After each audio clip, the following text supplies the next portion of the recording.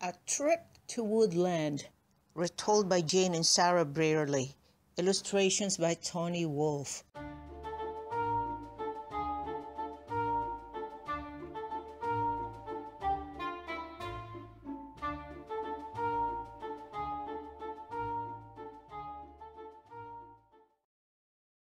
To arms!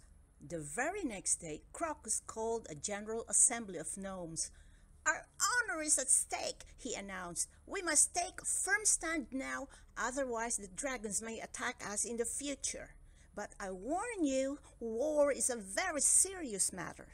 The gnomes had only one thought, however. They voted unanimously for war.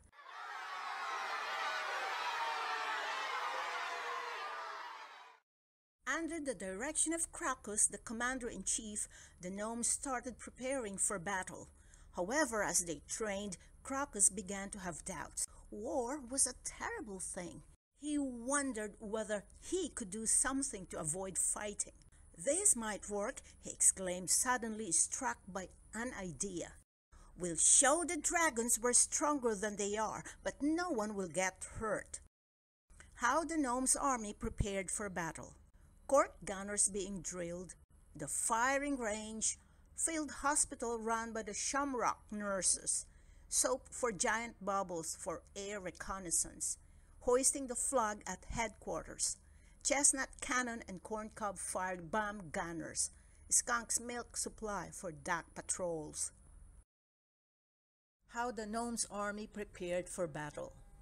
They have a standard bearer, court gunners, field marshal, general, a scout, a messenger, high command strategist, commander unit.